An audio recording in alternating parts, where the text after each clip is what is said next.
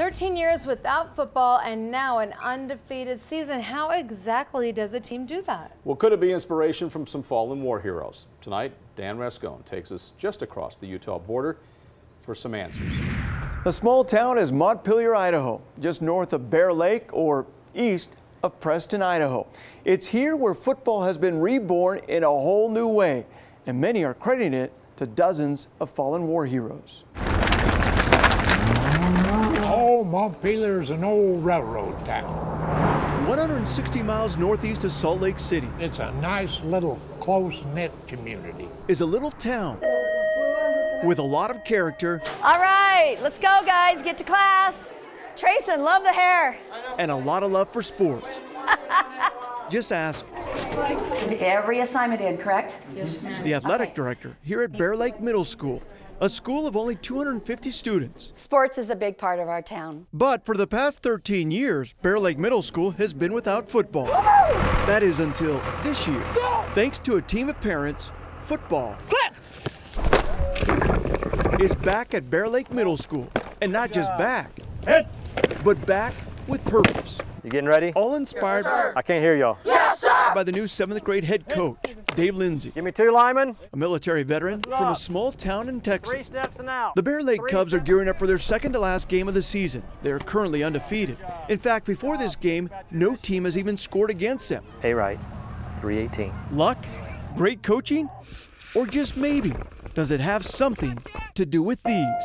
Little American flags of fallen war heroes placed on the back of each of the boys' helmets, listing their names and where they were killed in action. I play for Matthew Axelson. Lieutenant Commander Erik S. Kristensen. First Lieutenant Kyle G. West. Coach Lindsay calls it Petty Officer Second Class James E. Suh. heroes on helmets, Staff Sergeant Scott Studman. a concept It means that we get to represent our country and the man that died defending our country. the boys say I take pride in wearing his name on my helmet. is giving them His name can live again through me playing football.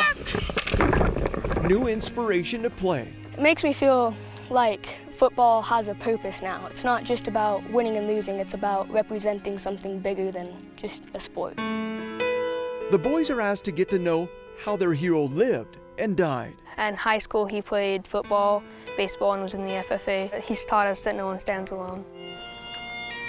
The whole reason we're here doing what we're doing today has to do with those who paid the ultimate sacrifice to uh, make sure that our freedoms are still, still preserved. That purpose is spreading across town. Oh, I think it's a great thing. Just stop by VFW Post 3884, where these Vietnam vets couldn't be prouder of the football team. It's very warming to your soul to see people be and still be there that, that way. He come in here and got them boys to loving him and loving America. That shows me there's still some type of patriotism in the United States. Remove your hats and honor our country as the VFW. And to show their support, those from the Post are also the honor guard to start off the home game. And before the boys take to the field, Chief Petty Officer Daniel Healy, United States Navy, each fallen hero's name is announced. and Master Sergeant Robert Horrigan, United States Army, Iraq. Now it's game time. Cubs versus the undefeated Malad Knights. One of the first plays of the game. Go, go, go! The Cubs run it in for a touchdown. When they're tired, they look and see the name on the back of a helmet in front of them, and they realize, hey, that guy didn't quit.